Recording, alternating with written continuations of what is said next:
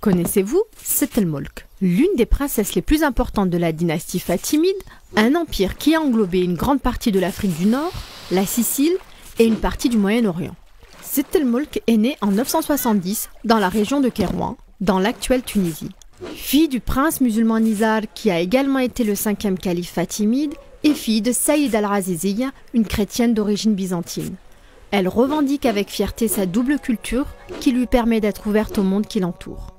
Après une enfance paisible, Settelmolk connaît une adolescence plus rythmée lorsque son père décide de lui donner de grandes responsabilités.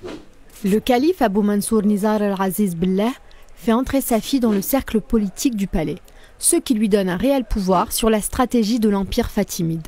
La jeune princesse fait l'unanimité au sein de la cour.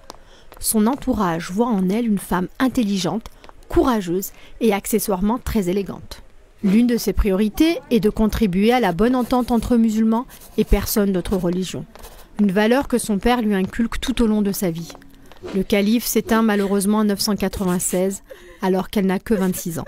C'est donc le demi-frère de la princesse, El-Hakim, qui reprend le pouvoir mais instaure pour sa part une politique répressive à l'égard des non-musulmans, allant même jusqu'à détruire des églises.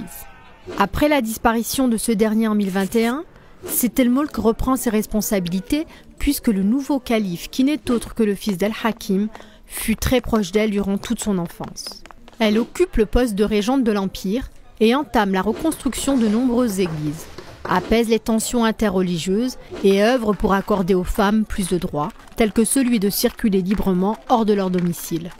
Autant d'éléments qui font de Setelmolk une grande figure de l'histoire musulmane qui a su défendre coûte que coûte des valeurs universelles.